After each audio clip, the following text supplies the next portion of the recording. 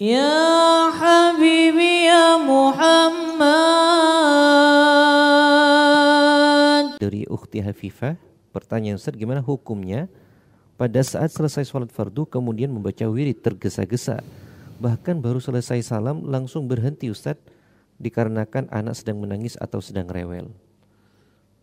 Salatnya sah Selama sudah salam Assalamualaikum warahmatullahi Assalamualaikum warahmatullahi Selesai solat anda. Dan kalau memang solat memenuhi syarat Solat anda sah. Tentang dikir habis solat Itu amalan lain. Amal lain. Jika ada anak nangis Ada hal-hal yang penting Gak ada masalah. Anda berdiri Sambil baca wirid Anda ambil itu anak anda. Hmm?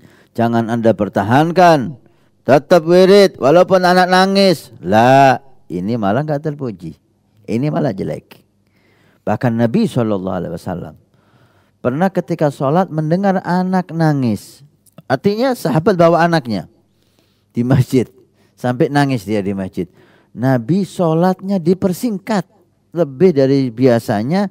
Untuk apa? Rahmatan bi ummiha rahmat untuk ibunya supaya nggak kepikiran anaknya nangis. Sholatnya dipercepat oleh Nabi. Bukan habis sholat. Tapi bahkan di dalam sholat dipercepat oleh Nabi. Supaya si ibu bisa cepat-cepat mengambil anaknya. Lihat akhlak Nabi Shallallahu Alaihi Wasallam. Gak ada masalah. Kalau hal itu penting. Apalagi anak menangis. Ada masalah yang penting. Anda bangun setelah salam. Sambil baca wirid. Anda tenangkan anak Anda.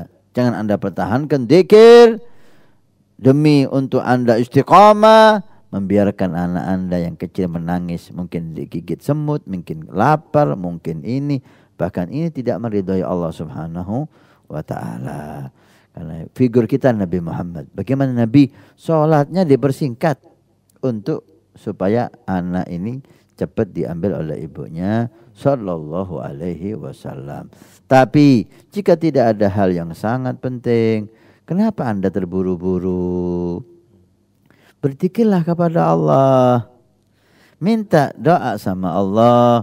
Baca subhanallah 33, alhamdulillah 33, Allah akbar 33. Baca ayatul kursi, dikir sama Allah. Kenapa kita buru-buru seakan-akan habis sholat gak mau lagi sudah sama Allah lah. Ketika tidak ada masalah, maka bermesrahanlah kepada Allah Subhanahu wa taala.